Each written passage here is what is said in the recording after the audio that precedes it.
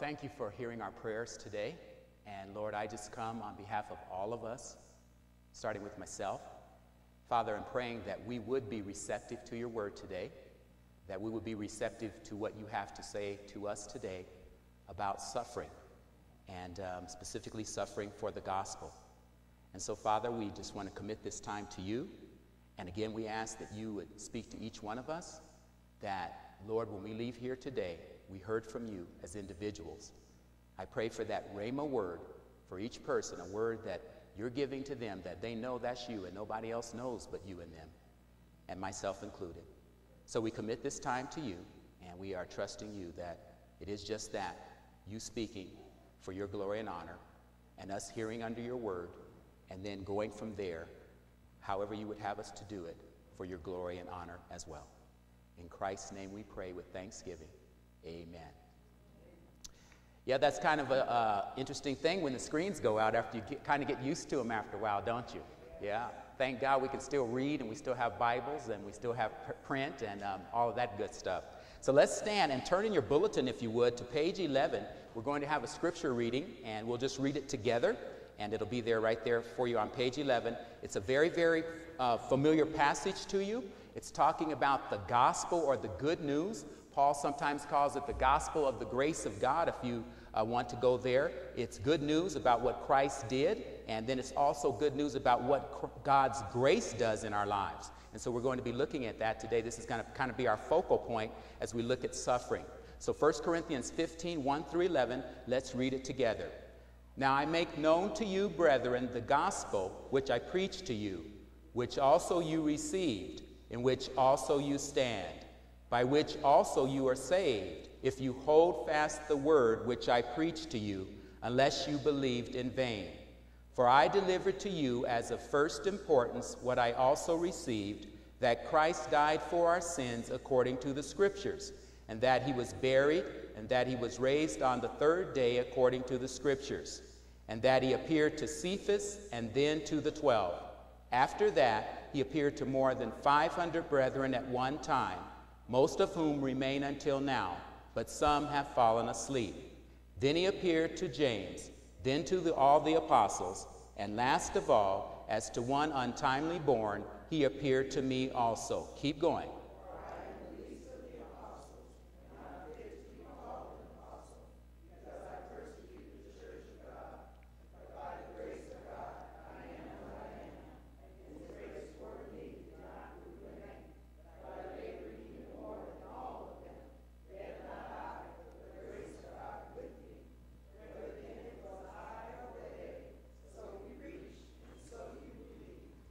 Amen. Thank you very much. You may be seated. As I said, we are talking about a passage of scripture that we just read that has to deal with the gospel. And you know this already, bear with me. The word gospel means good news, okay? Good news. And the good news about the gospel that's listed here is that we as people on this planet can have our sins forgiven and we can be given life, okay? Have our sins forgiven and be given life through trusting in Jesus Christ and his finished work for us on, on behalf of us on the cross.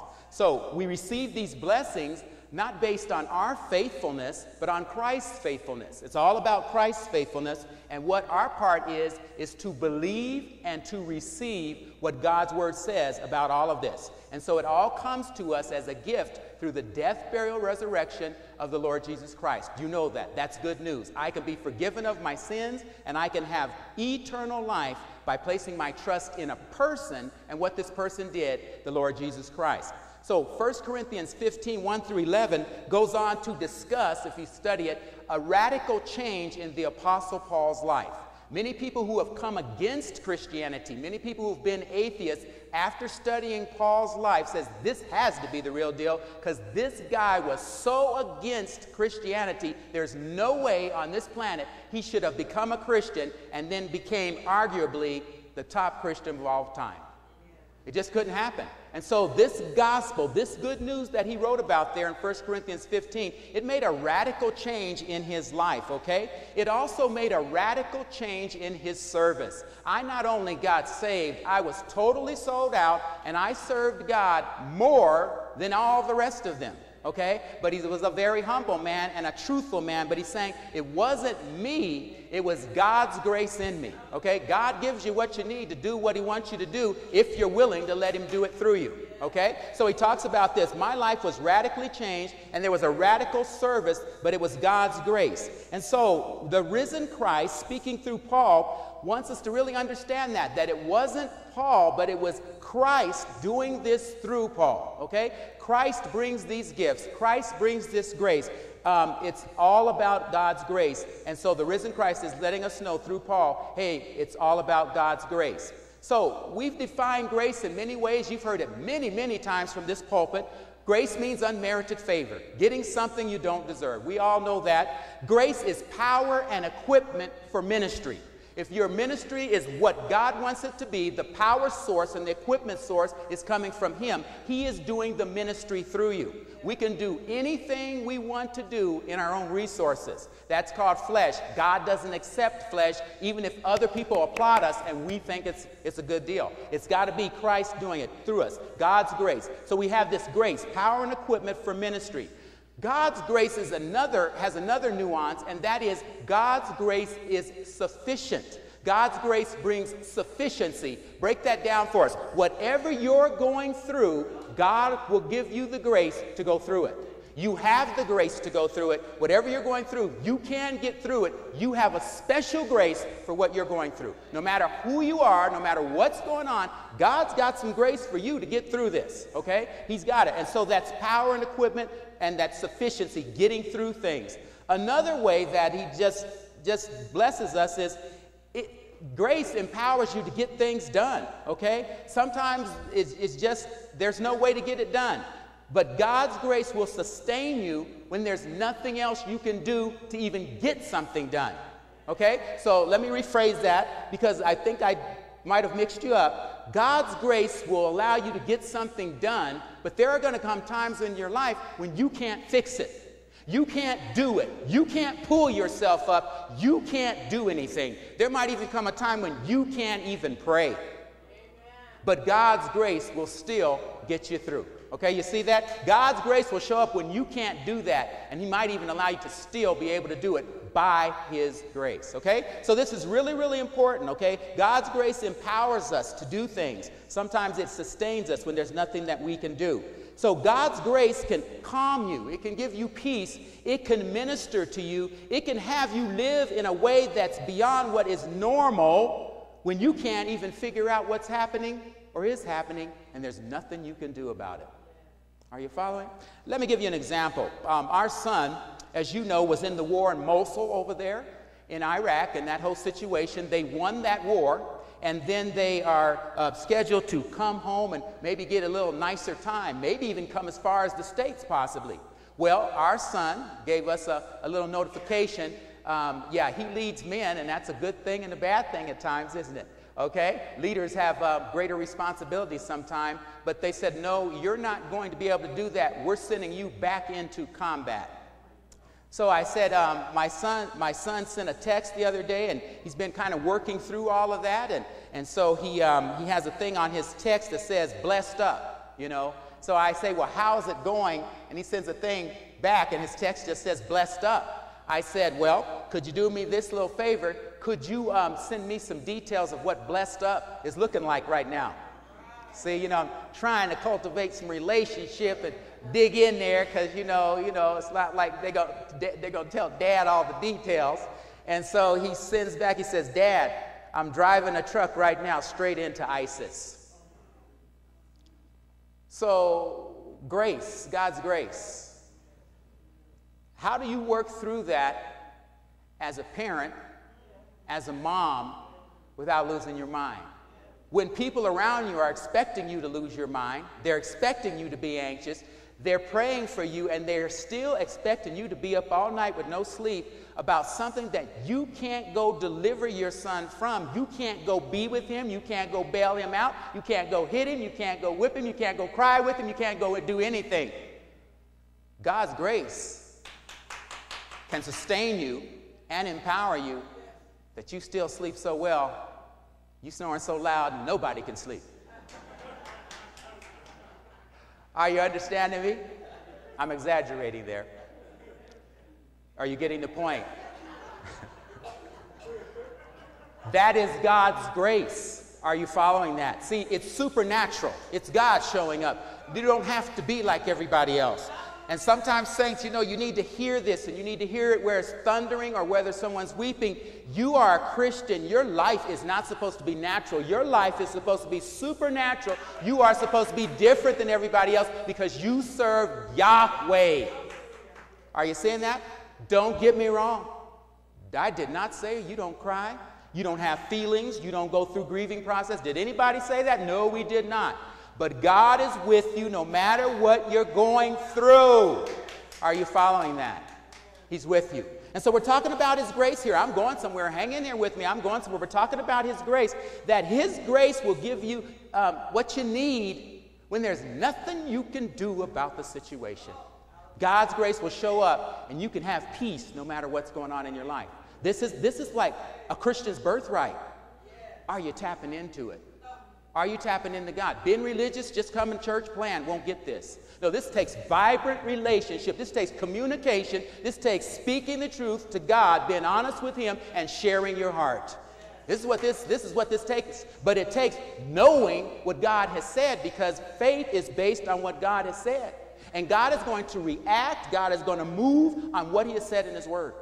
So are we going to God, putting His Word up in His face? This is what you said.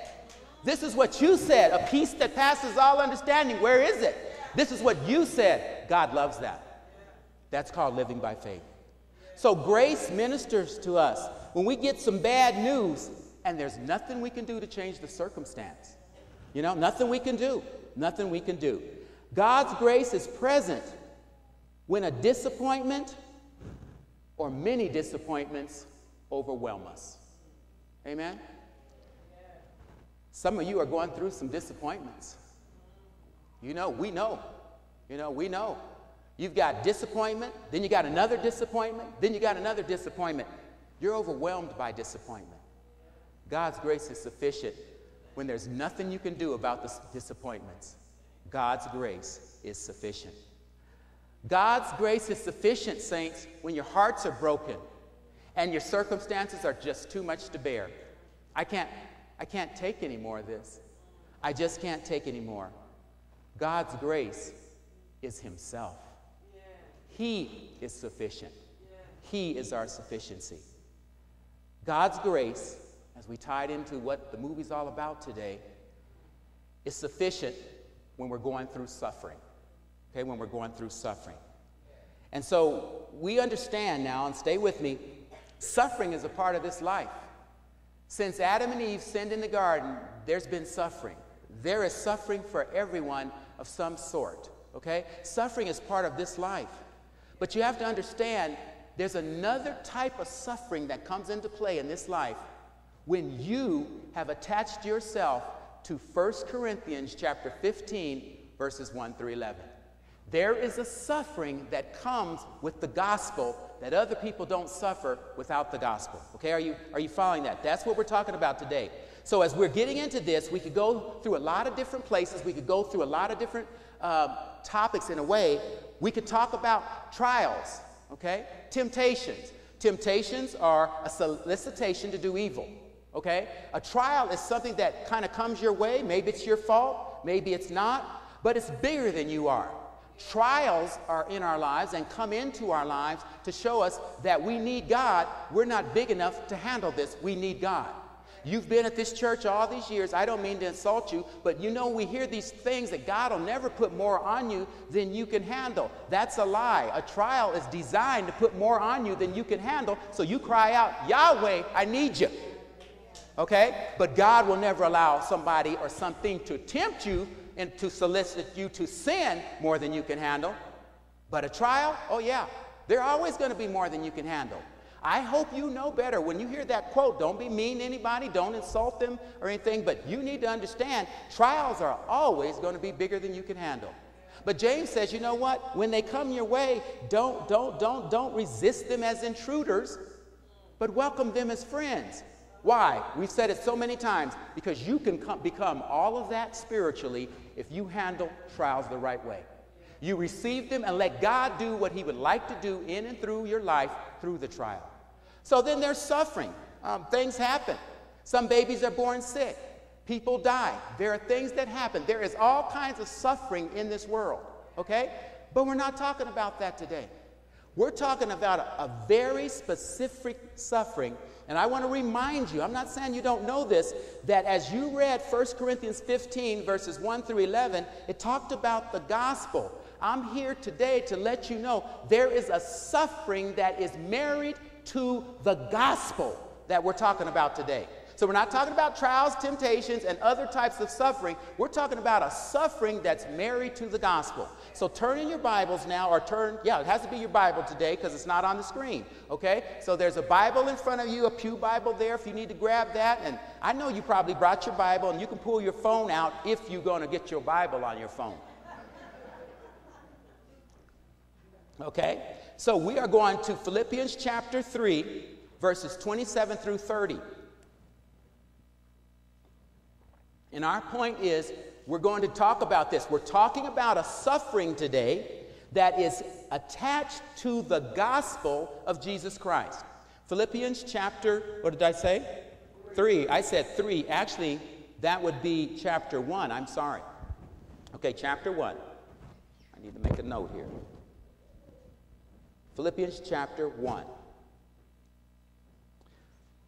Okay, Philippians chapter 1. I'm going to just read it myself today, okay? Okay, here we go. Philippians 1:27. Only conduct yourselves in a manner worthy of the gospel of Christ, so that whether I come and see you or remain absent, I will hear of you that you are standing firm in one spirit, with one mind, striving together for the faith of the gospel in no way alarmed by your opponents, which is a sign of destruction for them, but of salvation for you, and that too from God. For to you it has been granted for Christ's sake not only to believe in him, but also to suffer for his sake, experiencing the same conflict which you saw in me and now hear to be in me. Okay? As we get into this, we're talking about suffering and the gospel, Philippians 1, there, verses 27 through 30, teaches us that this same gospel that we were talking about, it's going to, somewhere in there, it should, for sure, affect our conduct. Affect our conduct, okay? It should affect our conduct. This gospel that we read about, it should affect our conduct. It affected Paul's conduct, didn't it? It turned his life upside down, it turned his service to God upside down. This particular gospel from the text we just read it's going to attract some enemies in the spiritual realm. It's going to attack, uh, excuse me, attract some enemies in the spiritual realm. When you weren't involved with this gospel, you didn't have the same kind of relationship with the enemies in the spiritual realm as you do the day you accepted this gospel, okay? There's a, a, a, a reaction that's going to come in the spiritual world, world, in the unseen world, when you accept this gospel that you would never believe that you would never believe. You are now on the hit list, and we're going to do everything we can to destroy you. That's what happens when you attach yourself to this gospel. These um, spiritual beings really get busy, okay? They will motivate people, they will animate human beings to now become, from this text, you saw the word, your opponent. They will now become your opponent. We don't like how you smell. We don't like how you look. We don't like anything about you. And the bottom line is because we don't like your attachment to Yahweh or the Lord Jesus Christ. War is now declared on you as an individual. Got to get this. We got to get this. This gospel we're talking about, it brings some suffering. And the thing is, is that these spiritual beings will motivate and animate human beings to be your opponent. And those human beings hate your guts and are going after you, and they don't even know why. They don't even know why. It's just the thing to do, okay? And so they become your opponents. And then what this text is teaching is that from there, this can result for you as a Christian in suffering in your life suffering in your life, okay? Verse 29 of our passage states that this suffering is part of the Christian life. Some people think that all it is is you believe and you go about your happy life. No, no, it's a you know it's a thing there. It says it's granted for Christ's sake not only to believe in Him but also to suffer for His sake. Okay, um, believing in Christ and suffering go together. Mm-hmm, I'm still waiting for the amen. You, you, did you write that in your Bible? Am I preaching out of the wrong Bible? Did I make that up? No, no. What does the verse say? It's granted to believe in him and to suffer. Believing in Christ and suffering go together. Verse 29 for, for to you it has been granted for Christ's sake, not only to believe in him, but also to suffer for his sake. We break verse 30 down this way Suffering and conflict are part of the Christian life because of the gospel that we're talking about. Suffering and conflict are part of it. You, you, you, you come from a church that says it's all, you know, you're not supposed to have any problems, any suffering. There must be something wrong with you. No, that's just Christianity 101. Christianity and suffering go together. Okay? God, he, he really does have some mysterious ways. He really does. And why do I say that? Because in this same book, chapter 3, verse 10, this book of Philippians says somehow that suffering and knowing God go together. People who are going through suffering have the potential to get to know God deeper and more intimately. Okay? So Philippians 3:10, that I may know him. And it talks about the fellowship of his sufferings, being made conformable unto his death. So Philippians 3:10 is saying somehow God does this, that suffering can be used to get to know him better. You already know that. You already know that knowing God is the most important thing in life. You already know that. And so suffering can aid us in getting to know God. If you look through your Bible, you just look closer, closely, excuse me, you'll see great men and women of God in your Bible walking through it. Those who have suffered greatly because of their relationship with God. Why did Daniel get put in the lion's den? Why did the folks go in the fiery furnace? Why did they boil the uh, Apostle John in oil? Why did they put people in tree trunks and um, saw them in two? And, you, you know what I'm saying? That's beyond suffering. That's martyrdom, right? And so we're talking about this, but look at those great people of God and see that you don't see they suffered. Okay? They suffered. And so they suffered. Why? Because of their relationship with God. Okay? Because of their relationship with God. Suffering, put it the other way, these people suffered because of their relationship. Suffering goes the opposite. Suffering has produced some great men and women of God. They were going through something, they put their faith in God. The suffering actually made them greater for God. Suffering is like puppy love. It's real to the puppy. You see what I'm saying? And it's different from for everybody else, and you can't tell somebody else what's not suffering and, and what it is because you're, you're wired different, okay? We're all different, but it's, it's like puppy love. It's real to the puppy. I watched a video last night. It uh, was very interesting, and it shared suffering that is going on around the world um, for Christ's sake in places like Somalia, uh, places like Russia, uh, places like China, okay? And so it's, it, was just, it was just mind boggling that, that people were beaten, people were tortured, um, people were put in prison. Like, you know, well, we're going to start you out at a minimum of 17 years, okay? They were put in prison, okay? They had death. And listen to it it was only because of the gospel of Christ. They heard they were having Bible study at their house. They go drag them out and they put them in prison. And there was one example where the man was in prison and he didn't have a Bible, he didn't have a friend in the world. They took this man because he was reading his Bible to his family, took him and put him in the prison for all the murderers, the rapists, everybody that they didn't want to have anything to do with in prison. They put him in that prison. Okay, that's where he went because he believed in this gospel we're talking about. And then the brother didn't have a Bible. Nobody came to see him. It isn't anybody from Berean talking about prison ministry. We're going to go visit you. Oh, none of that. Nothing like that whatsoever. So he would get a little piece of paper, tear the little piece of paper, get a pencil, and write verses in there. Write verses. Uh, you know, get the gospel, write the gospel there. Um, Christ died, buried. He was doing all that. And then he tried to save it. He couldn't do much, so he put it way up on the, the post there in his, his cell. The guards would come in, look around. Oh, writing Bible verses again. Pull that down and just beat him till he was almost dead for that. Tear it all up. That's why you're in here. That's why you're never getting out of here. You and your God. And, that, and then beat him half to death and go all over again. This is suffering, okay? In some of these other nations, we've got to get this. It's, it's, it's, it's deep. Listen to this. And it's generational.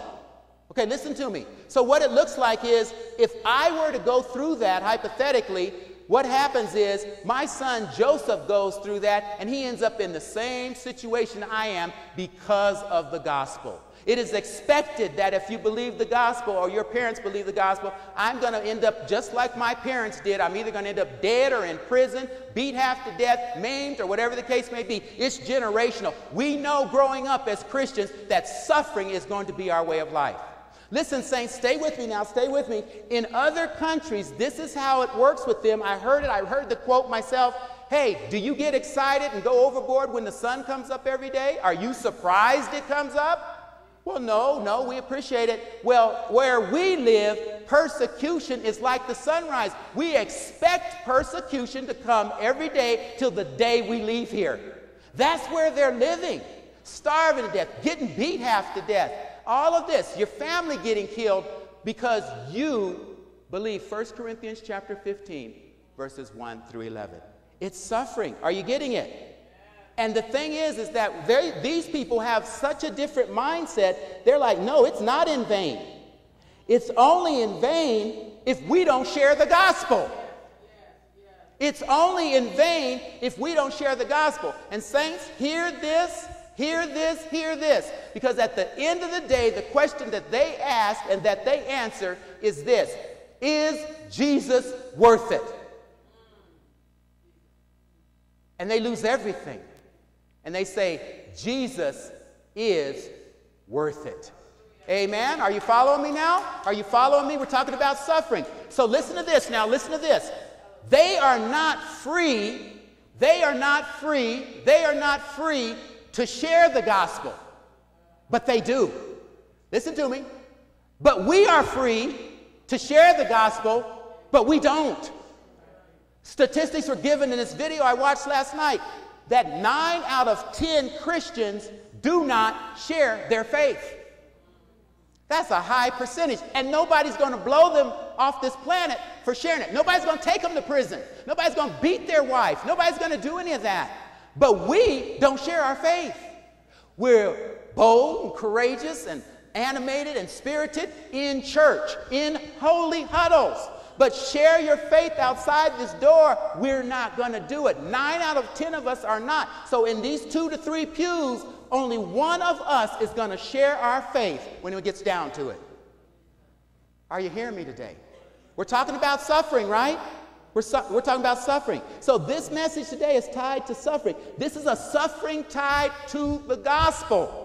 We're all going through different types of things, but we're not talking about that today. Another sermon. This is sermon, um, uh, excuse me, tied to the gospel. Suffering because of the gospel. God gives the grace. God gives the power. God gives the equipment to go through it, and that grace is Himself.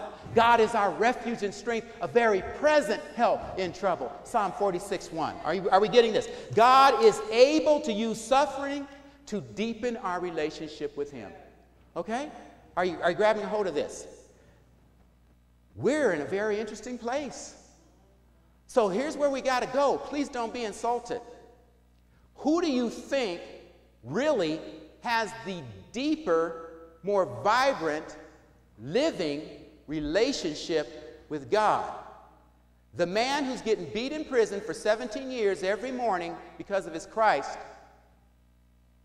who's not free, who's persecuted, or the average American who's not persecuted, who is free, who's not suffering for Christ. Folks, it hurts us to a certain extent. We got to be careful. But they are probably in a deeper relationship and intimacy with God than we are. Than we are. Are you seeing? If someone were to blow our brains out for coming here to worship, how many of us would really be here now? You see, if it costs us, if they say, I'm going to kill your wife, Ron, I'm going to kill your kids, that's what they're going through. You still want to worship Yahweh? You still want to worship Him? And folks, it's so deep in this, uh, these other countries, listen to me now, that one man went with his, one, young, one little boy went to the prison with his mother. His dad was so bad off, they had to carry him out, and he didn't even know where he was or anything else. They had been beating on him so long. His son is this big. His son's crying, Daddy, I'm proud of you. You have not, you have not denied Jesus Christ. But before he ever got in that situation, he said, I don't know where I'm going to go. I don't know where I'm going to end up. But I hope that if I ever hear from you guys again, you stood for Jesus Christ. They're raised to stand for Christ in the persecution. And so daddy's there laying out there in the yard. They let him visit, okay? Let, let the little boy and the mom visit. They had to carry him out, threw him on the table, and the little boy's crying, Daddy, you're doing it. Because he already knew, I have to grow up and do this too. We're, we're proud of you, Dad. And the wife tried to slip the man a little New Testament. Okay, this is truth. This is not, this is not comic books. It's not superheroes here. It is superheroes of a different kind. Supernatural. Wife tried to slip a brother. He's, he's all inebriated, all beat up, and trying to slip him a Bible. The guard saw it, came over there, beat on him, did some more stuff, and said, You know what? If I killed him, beat you, and killed both of you too, I'd get a recommendation and a, a, a promotion out of this. This is why he's the way he is. Your God and his word. That's how they're living. Who do you think has a deeper relationship? Do, you, you wonder? Now, we got to be careful here. You know, God has us here. We don't have to apologize for where God has us. Just be where God has you and be all that He wants you to be. But are you understanding what I'm saying? We're cozy. We had a leadership meeting yesterday. Funny. Temperature in the building. Too hot, too cold. Imagine never having any heat or nothing to eat, period. You know, that's us. We're spoiled, aren't we? Too hot, too cold. I still want cushions on the pews. That was a joke, you guys. you see my point, though, okay? So I better hurry along and wrap this up. This is where what we're talking about suffering for the gospel. Would you agree that it's probably foreign to most of us? It really is. You know, we ain't gonna go where we went last week, but everything's optional, comfort zone. You know, we, we talked about that already, haven't we? We're not into suffering for anything, are we? No way. We're not into suffering for Jesus or Yahweh either, if we're really honest. Amen? But that's why we're here, right? Get His Word, right? So we can go on with Him. So we're wrapping it up this way, just a quick illustration. You remember Charles Stanley, you you've heard of him, right? He had some tough times. Uh, uh, one of our members said, hey, he, uh, hey, why don't you listen to this particular program? I did, and I listened to three of them, you know, and he was talking about early years in the pastorate and all that he went through. And somebody came in from the uh, Don, if I could say it, even the deacon board, walked up here and then hit him, hit him in his mouth, and all kinds of stuff. So, you know, it's just a whole different world. Yeah, hit Charles Stanley. So there was an old lady in the church. You know, old ladies are always wise. Old ladies can tell you a lot about the heater and the heat too. early, early in my career, they, they helped me understand some stuff because I, people was always sleeping out, and I'm like, ah, what are you doing sleeping? And, you know, it's like the old lady said, "Ron, let me pss, pss, pss, come over here. Old ladies can teach you a whole bunch if you're willing to listen. So the old lady said, Charles, would you come home with me? And I'd like for you to come visit me. I'd like you to see some art I have up on my, on my door, on my wall. So he goes into this old lady's house and she says, Take a look at this painting and tell me everything that's in this painting. And so Charles Stanley is looking and he's having a tough time in the ministry. It's been tougher than it's ever been for him, going through some tough times. It was a painting of Daniel in the lion's den. Probably one you've seen. And Daniel's there in the lion den and a lion's den, and all the lions are around, and there's a hole at the top, and there's a beam of light coming down. And he's standing there like that. And she said, Charles, tell me everything you see in that painting. I see the lions and he told her how they, how they were, how they looked. And he looked at Daniel and told him, she said, Are you telling me everything? Well, I see Daniel's clothes, I see the surroundings and, and all of that. And so he said, I told that lady everything I could think of uh, in that lion's den, in that picture. She said, Charles, there's one thing you're missing. Daniel is looking up, focused on God, not his circumstances. He's not looking at the lions, he's not looking at the cave, He's looking at God and his circumstances. When we go through this suffering, folks, we have got to be looking up toward God, not our circumstances. Not our circumstances, okay? We got to look at God. Michael opened up the service, Isaiah chapter 40. Did you hear about this big God? that the whole earth is just like a speck of dust to him. Keep looking at this God who is the biggest God instead of your circumstances. Are you, are you following that? And as the worship team sang this morning, you know, lift him up. We need to lift this big God up in praise and in thanksgiving and in worship. We need to stay in communication with him. You sang about praying today, okay? You sang about that. We need to stay in communication with him the best that we can. And when we can't pray, and there's come some times where stuff is so messed up you can't even pray, you need to what? Call somebody to pray for you. Just like we sang this morning, somebody prayed for me. Somebody had me on their mind. Ask somebody to pray for you. Then get back into this word. It's always about this word. What did God say in the word? My spirit prays for you. He said in this word, and there's all this warfare and all these spiritual beings. Romans chapter 8. Jesus is praying for you, and he's not looking up, he's looking down. Through the warfare, he sees it all. He is exalted to the place where nobody can mess with him or change his mind about what he wants to do. He is exalted. He has been exalted to the highest place there will ever be, God's right hand. So he's looking down on the warfare that's in heavenly places concerning you. Are you saying that? These are just some things we need to do. Get your mind focused in the right place, okay? Pray, do that. Remember, God the Holy Spirit's praying for you. Jesus is praying for you. And remember, oh, that song sounds so good, but it's so practical. Remember to keep loving God more than anything more than anything. See, we got to get it. Those folks over there love God more than their very life. You see what I'm saying? We love our cars more than God. We love our, our clothing more than God. We love our money more than God. No, no, they're saying we love God more than our life. If you kill me, I'm just getting there early. Bring it on. We're not ready for no suffering, are we? Well, we better get ready. Are you following this? Okay, so stay focused on God. And you know what? You got to get this. There is no comparison with God. There's nobody in his class. There's no one to compare him to. And then he tells you, and you need to get your head on straight, my brother and sister, my child, that this stuff that you're going through, even if you lose your life, you're maimed, you're burned, whatever the case may be, it is nothing compared to the glory I'm going to give you for going through it. Are you seeing that? Oh, I'm going to be blessed for going through this. This is terrible. I hate this. But God is going to give me a glory going through this the right way. I'm going to become all that spiritually here, but when I get there with Him, I'm going to be somebody that's walking around that somebody wants to be like me. Look at all the glory. Why so much glory? Why is that person so high ranked? How much authority do they have? Why? Because they suffered much while they were there.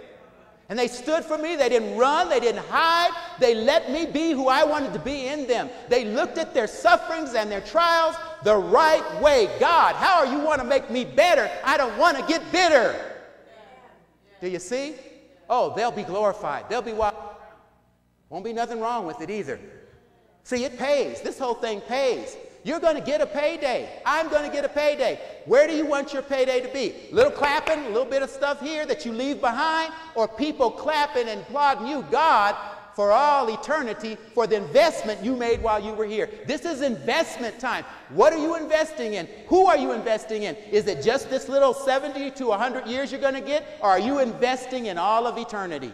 This big God, He pays. He's keeping the books. He's going to glorify us as we go through suffering because of this gospel. We're blessed today. We close it this way. Today, I've been up here. I don't know how long I've been up here, probably too long. But do you realize that somebody, when I came up here to start this sermon, was suffering greatly? Somebody died. Somebody watched one of their relatives get killed. Some man somewhere had to watch them kill his wife and his kids for the sake of this gospel while I was preaching. Somebody is grieving. Somebody is crying, God, why? Lord, Lord, because they went through suffering even unto death while I was preaching this morning. They went to eternity. They went to see God in that sense. Our suffering's real, it's painful. But even still, when you put it in light of what we're talking about today, don't you think that you might have something to be thankful for here today? Did you have something you can find to thank God for? Do you have something? The Word of God to be announced today suffering for the sake of the gospel. We need to think about that. Let's pray. Let's pray. Father, thank you for your word, Lord, and thank you for helping us with our perspective. Thank you for your many, many blessings in our lives, Lord. We have so much to be thankful for today. And Lord, we know there's a, all kinds of things going on in our body and friends of our body, family of our body. We know all of that. But today we're looking at just the suffering for the gospel's sake that our brothers and sisters in Christ are going through all over the world. Father, help us to uh, really keep this all in the right perspective. And Father, grant us to be grateful. And uh, Lord, just enhance our relationship with you um, to, to really understand that suffering and the gospel are, are tied together. So, Lord, um, we don't know what you're calling us to do. We don't know what the future holds for us.